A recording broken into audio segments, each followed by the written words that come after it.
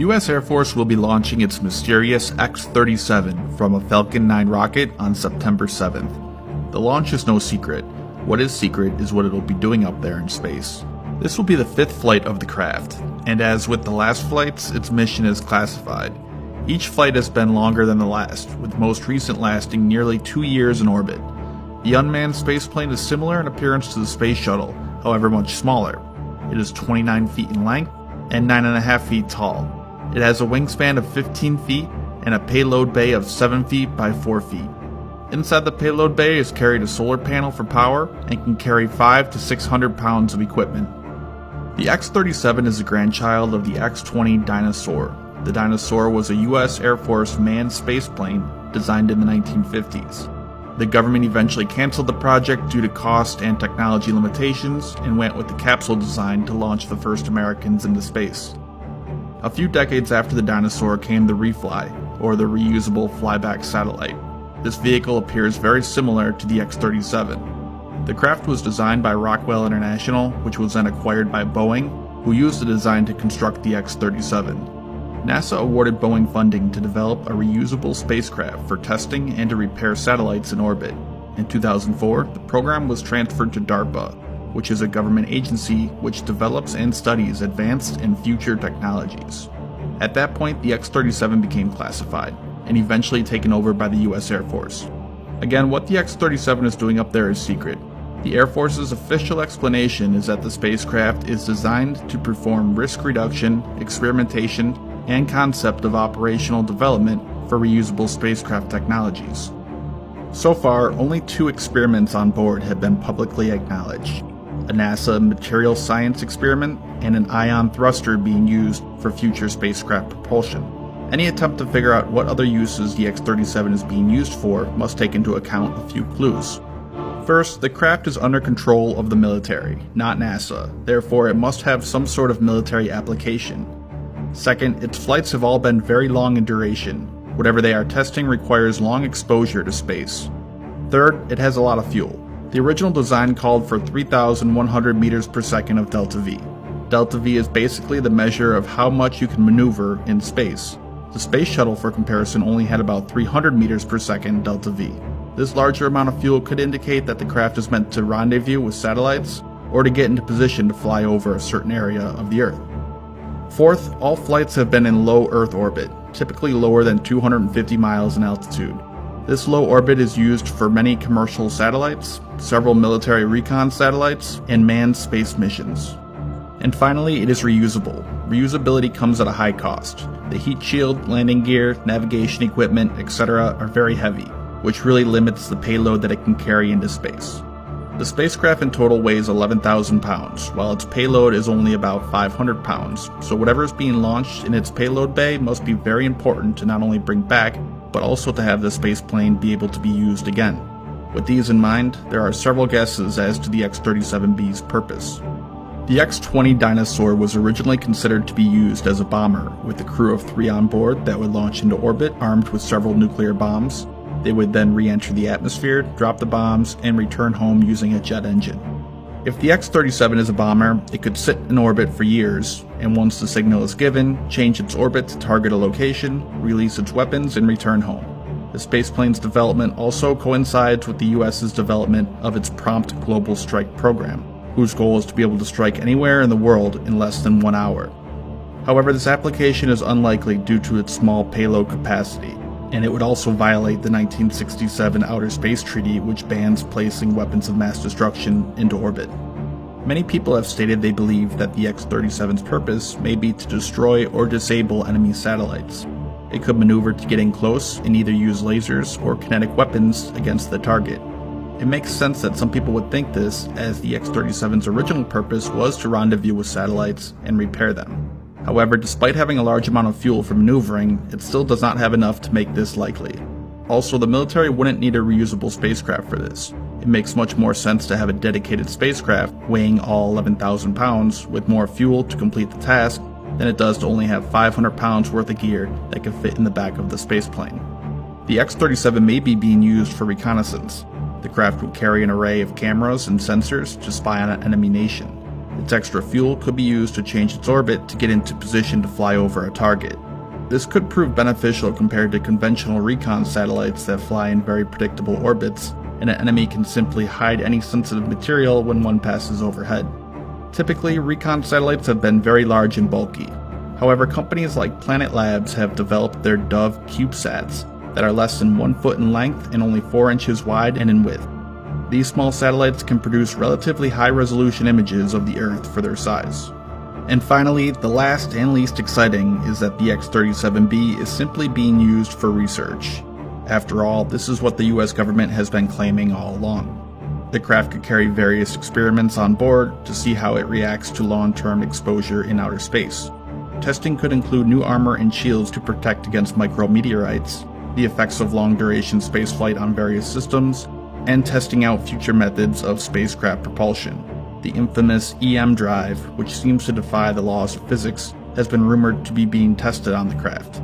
This operation seems to be the most likely use of the X 37, considering all the information available. However, only time will tell what benefit the spaceplane will bring to the US Air Force.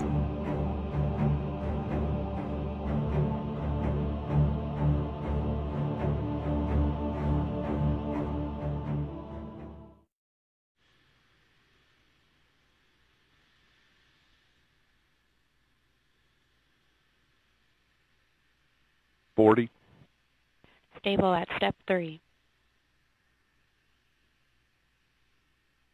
This is Atlas Mission Control at T minus 30 seconds and counting.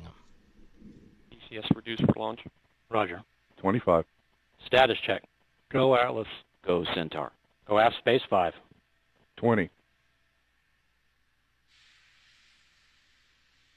Fifteen. This is Atlas Mission Control at T minus 10, 9, 8, 7, 6, 5, 4, 3, 2, 1, 0.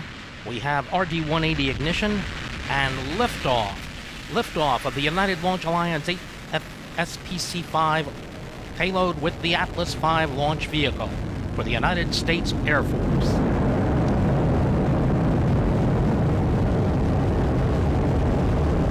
Vehicle disturbances are as expected. You're now hearing the voice of Rob Gannon providing launch vehicle ascent data. Let's listen in for mission progress. Everything is looking good. Passing 30 seconds into flight, everything looks good. Flight control is nice and smooth.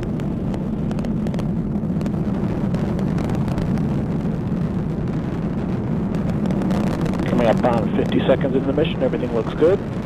Flight controls right down the middle, seeing normal disturbances for atmospheric flight.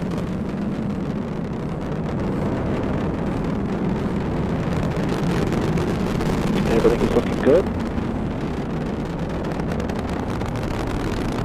Operating parameters look good, vehicle disturbances look good.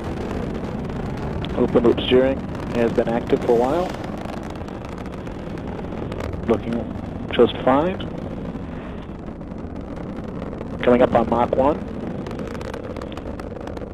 And OTV is now supersonic. Passing through max Q. Vehicle disturbances continue to be as expected. We have throttled down to 95% of rated thrust right on time.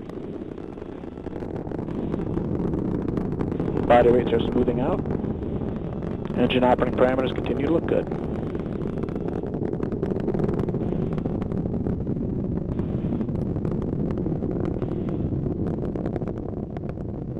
To operate at 95% rated thrust. 20 seconds to enabling steering. Vehicle's flying normally. Engine's operating good. And we're proceeding right down the center of the range track, right as expected. Coming up on steering enabled. And we've enabled steering. Vehicle's maneuvering. We are now 25 miles in altitude, 15 miles downrange, traveling at 3,000 miles per hour. Parameters continue to look good. We're now throttling the engine to maintain a constant 2.5 Gs for payload fairing jettison, and we fired the power valve, activating the reaction control system on the second stage. Everything's looking good. Continuing to maintain 2.5 Gs in preparation for fairing jettison.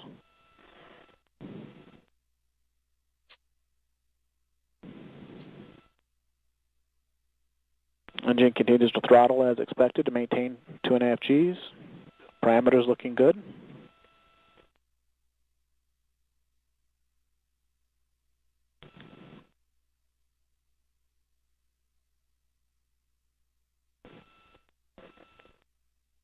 Coming up on payload fairing jettison.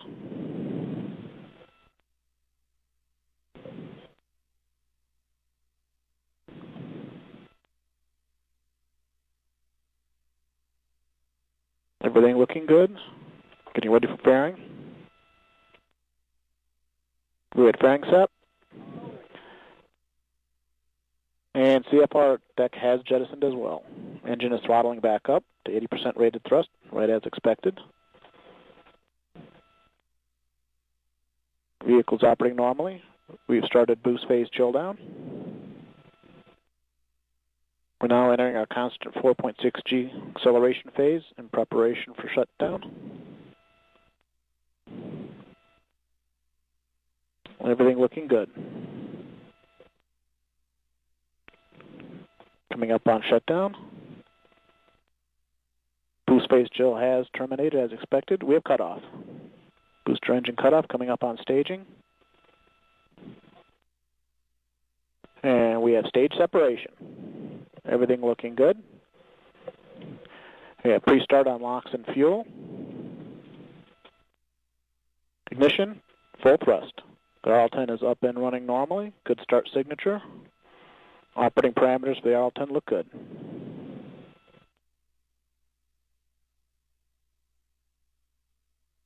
The vehicle continues to fly right down the center of the range track. Everything This is Atlas Mission Control at T plus five minutes and one second into the flight. We've just heard Rob Gannon report the successful execution of events comprising the early portion of today's mission, and all systems continue to operate nominally. With the mission underway, let's take a look at video.